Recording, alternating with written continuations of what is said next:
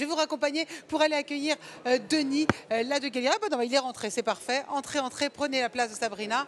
Vous vous connaissez tous les deux, fondateurs et PDG de Believe. Alors là, on va se plonger dans l'industrie musicale. On part de l'eau euh, pour aller euh, vers une maison de disques, c'est ça? Bonjour Denis. C'est très Euh, fluide. Mais une maison de disques qui n'est pas comme les autres. C'est ça, c'est Believe, vous m'en parlez? Believe, notre rôle, c'est de, de développer des artistes à toutes les étapes de leur carrière. Donc, euh, on a construit un modèle qui nous permet d'accompagner des artistes en tout début de développement, comme en France, des top artistes comme euh, Joulou Vianney ou euh, Jeanne Haddad, par exemple. Et alors comment, comment vous faites? En fait, vous êtes au plus proche, c'est ça? C'est plus de la proximité?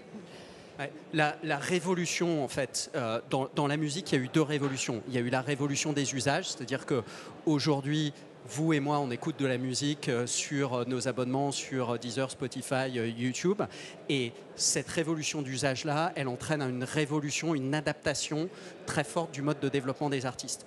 Quand les gens découvrent de la musique sur des services digitaux, le développement d'artistes doit se faire sur les services digitaux. C'est là où il faut leur faire découvrir de nouveaux titres de, la musique. Donc, ce qui demande une expertise encore très humaine et aussi une expertise qui est beaucoup plus technologique, comment comprendre les algorithmes de recommandation, comment se fait la découverte musicale. C'est ça, donc du coup, c'est très, de- technologique, quelque part. Ça, c'est le progrès. Pour aller chercher les nouveaux profils. Et... Exactement. Comment, comment la rencontre entre le public et les artistes se fait Aujourd'hui, c'est beaucoup plus technologique, donc c'est une expertise. C'est là où euh, Believe euh, a une expertise qui est beaucoup plus avancée grâce à, en ayant un modèle qui est à la fois technologique et un modèle d'expertise digitale qui nous permet de comprendre quand utiliser TikTok, comment utiliser, comment utiliser Spotify pour développer, euh, maximiser le développement d'audience. Mais c'est de la recherche artistes. en permanence, du coup, je veux dire technologique, parce que les, les tendances changent, les, les influences changent. Comment vous faites? Vous êtes tout le temps au taquet? Ben, notre, euh, exactement. C'est-à-dire que, euh, pour donner u- une illustration de ça, on passe entre 15 et 20 heures, chacune de nos équipes passe entre 15 heures et 20 heures par an en formation. Ah ouais. Pourquoi? Parce qu'en fait, Pour s'adapter. pour s'adapter. Parce Avec que l'intelligence artificielle, notamment. Exactement, avec l'intelligence artificielle, avec des tas de choses. Comment est-ce que l'algorithme de TikTok fonctionnait il y a six mois est différent de la manière dont il fonctionne aujourd'hui et il est encore différent de la manière dont il fonctionnera dans six mois. Donc en fait, si nos équipes ne comprennent pas ça ou si nos équipes ne, ne comprennent pas comment on peut euh, développer un artiste sur Spotify, euh, elles n'ont pas la bonne expertise. Or, l'expertise pour nous, euh, elle est clé. Donc, on a besoin. Aujourd'hui, on est dans une phase de transformation et d'adaptation très forte qui va durer encore une, une bonne quinzaine d'années. Vous êtes comme un docteur qui croit plus à le diagnostic que, que, que- qu'au remède. Vous êtes 2000 employés présents dans 50 pays, rien ne vous arrête. Quelle est la prochaine étape?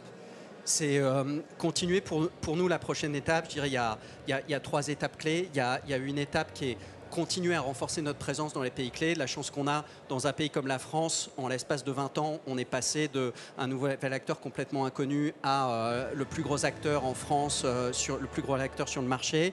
Euh, donc notre objectif, c'est de faire la même chose dans les 50 pays sur lesquels on est. Vous Il y a aussi un beaucoup pays- en Europe. Hein en Europe, en Europe et en Asie. Nos deux zones clés sur lesquelles on est, on est leader de marché sont l'Europe Mhm. et l'Asie.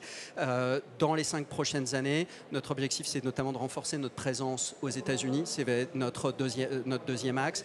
Et notre troisième axe, c'est ce dont on vient de discuter, euh, continuer à renforcer nos investissements dans la data pour construire de l'intelligence de développement d'artistes et dans toutes ces technologies de développement d'artistes qui vont encore évoluer très fortement Merci. et, et- et- et de faire en sorte que l'intégralité de ce qu'on fait bénéficie en fait à une communauté d'artistes Ouais, qui soit de plus en plus élargie et pas juste à quelques artistes privilégiés et qu'on soit capable de démocratiser l'accès au marché et à la fois à la fois l'accès au marché mais aussi les technologies de création de musique, d'amélioration de musique pour que dans 10 ans ou dans 15 ans quand on est à la fin du cycle d'innovation technologique, vous ayez la technologie soit au service des humains, rendre leur créativité beaucoup plus facile et qu'on puisse aussi rendre la manière dont ils vont aller chercher leurs audiences Eh et se développer beaucoup plus facile. Et plus humaine. Denis, la de Galerie, fondateur, donc PDG de Believe. Merci beaucoup. Merci à vous.